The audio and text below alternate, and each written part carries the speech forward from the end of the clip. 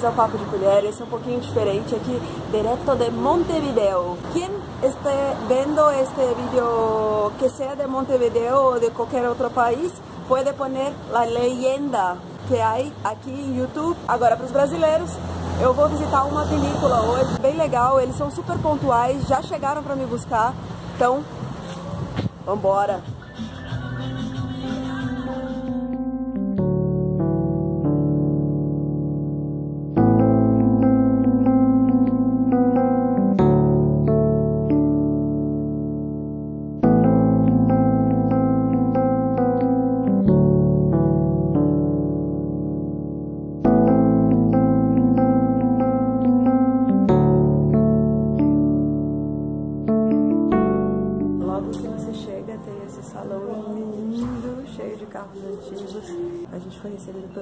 Que é brasileiro, e é ele que vai fazer a visita guiada daqui a pouquinho. É muito lindo, olha aqui que visual.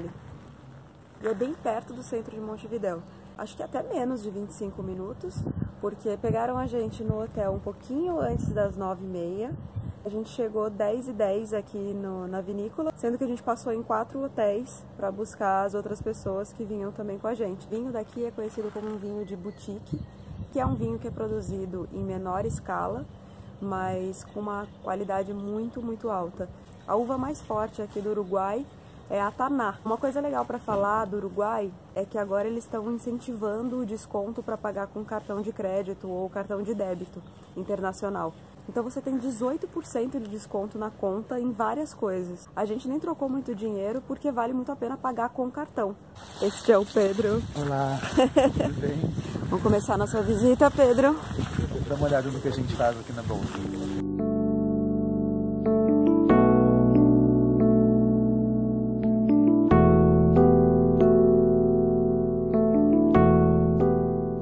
Agora é o momento de correr atrás do pato.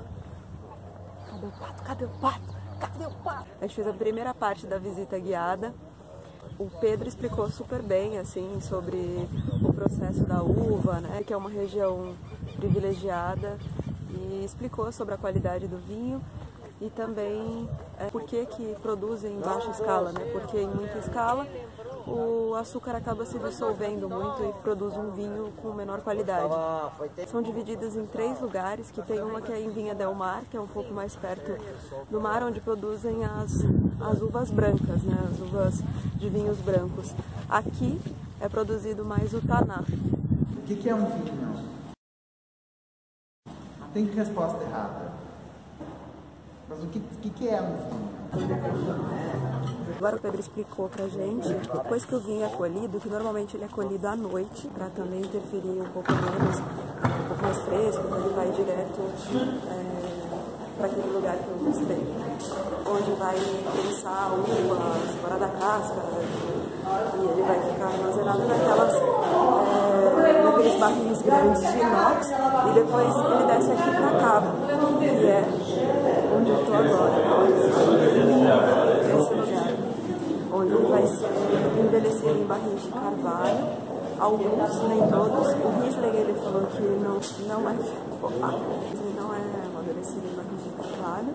E alguns tanás também não são amadurecidos no carvalho. Embaixo tem os vinhos de arquivo, que são usados para eles investigarem né, como que está sendo a produção, como que está envelhecendo cada vinho. Aí nesse almoço harmonizado, eles sugerem que você escolha, né? Porque aqui tem é, duas opções de menu completo. E aí a gente escolheu as duas, né? Aqui já chegou minha saladinha com o meu Riesling. Do Marley veio o patê, é, patê do campo com o Chardonnay. Esse Riesling é feito na região de Pão de Açúcar, que é mais perto de Punta del Oeste. O caladinho está muito bom, sem novidades. Mas vamos ver com o vinho o que, que acontece.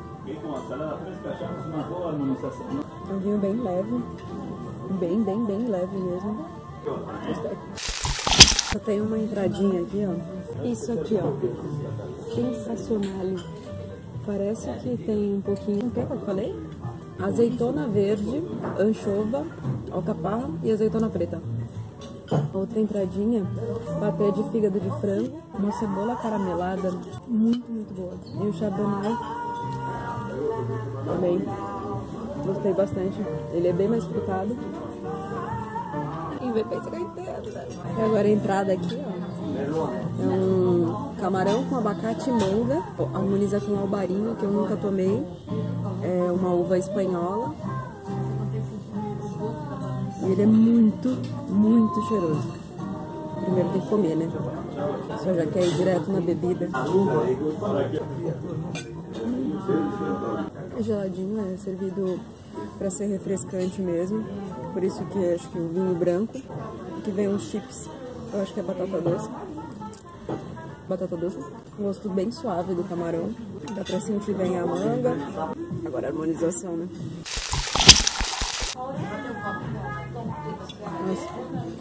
É muito, muito refrescante, muito redondinho, é muito frutado, muito, muito, muito saboroso mesmo. Esse aqui é o carpaccio de filé mignon, que é a outra entrada. Parmesão, mega bom. E o merlot pra harmonizar. Essa coisa da harmonização parece besteira, mas faz todo sentido na boca. Hum, uma merluza negra grelhada com molho de açafrão e lâminas de vegetais. Açafrão é o ouro em pó, né? Vamos ver aqui. Ela falou que por ser um peixe bem gorduroso, porque ele vive em águas profundas, ele faz uma camada de gordura para se proteger, né, do, do, da água gelada. Serve com um vinho tinto, que é uma mistura de taná com tempranilho. Só que é 40 a 60%. O taná, ele ajuda a tirar essa gordura. Se fosse 50 50 ia atrapalhar, mas sendo 40, o taná limpa a gordura, mas não interfere no sabor.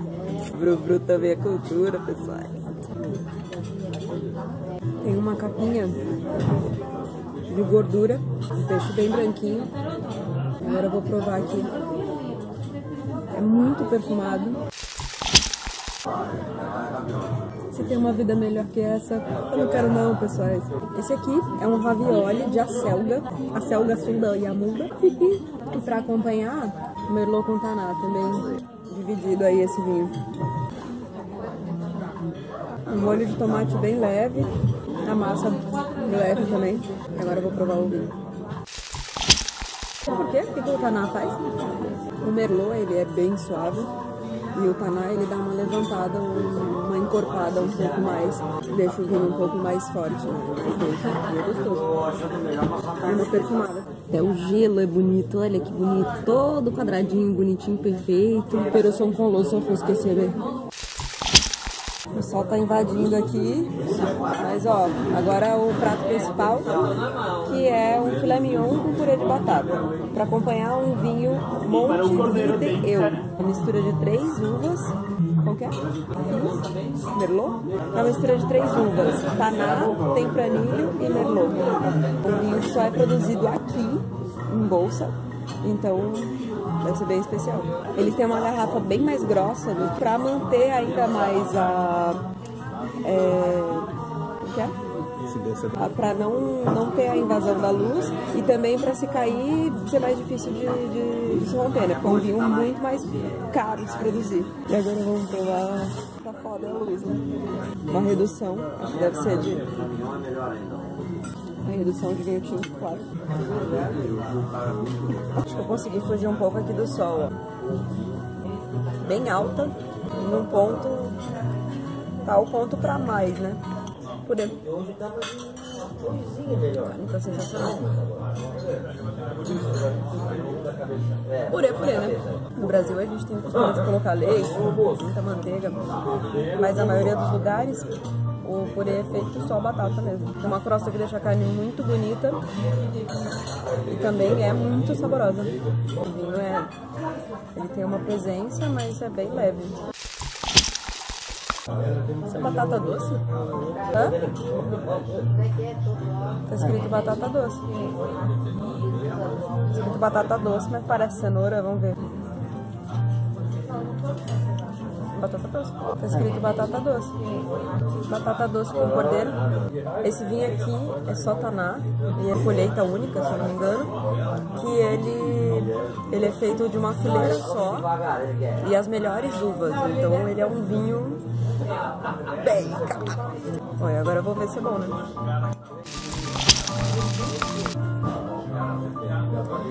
É mais forte do que o outro que eu tava tomando, que é aquela mistura de três uvas.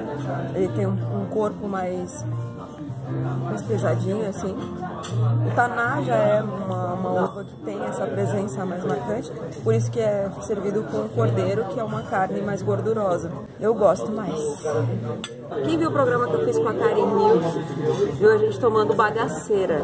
Pois é, hoje eu tô tomando na que é a mesma que é a mesma coisa que a bagaceira. É da casca da uva, é uma bebida destilada, que é muito forte, tem 40% de álcool rádio. Forte. É tipo a nossa cachaça mesmo. Depois de quatro tipos de vinho, a cachaçinha é arrebater. E agora, depois de tudo, a sobremesa. É um sorvete com folhado de maçã e uma pétala de rosa. Se tá no prato, é pra comer. Não sei se é comestível. Pode ser que eu... Esse é, é comestível não? Não. Não sei se é comestível. Se é comestível. Se é comestível. Eu comi. Então, esse aqui é um bavaróis de maracujá. Tem um caramelo aqui também, né? É um enfeite.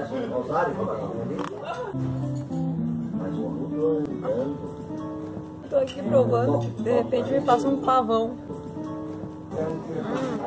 Parece um doce de maracujá, muito gostoso. Os carocinhos dão uma crocância. É, pessoas, aqui eu termino minha visita na bolsa. É muito perto de Montevidéu, então vale muito a pena vir aqui. Porque é linda, os vinhos têm uma qualidade excepcional. Esse é um moço harmonizado vale muito a pena. Entonces, es esto, personales. Vou quedando por aqui. Bom, agora eles devolvem a gente também no hotel. Uma van também leva. Então a experiência é completa, assim. Van que traz, van que leva. Até porque se beber não dirija, e a gente bebeu e não foi pouquinho. Quero agradecer a Lopes Calil e agradecer vocês também por estarem sempre comigo. Um beijo muito grande. Não se esqueça de se inscrever no canal, ativar o sininho para vocês receberem as notificações e fala o que vocês acharam desse novo formato. Eu gravei sozinha e é pro grupo pelo mundo, né, pessoais? Segue lá no Instagram também que eu vou colocar todas as fotos dos pratos que eu comi, os vinhos, enfim, tudo isso. Então, tava tudo muito, muito, muito gostoso. Muito mesmo. De verdade. Então, vem pra cá. E tem café! Tem café no bule com um alfajor para acompanhar o café. Hum, dulce de leite.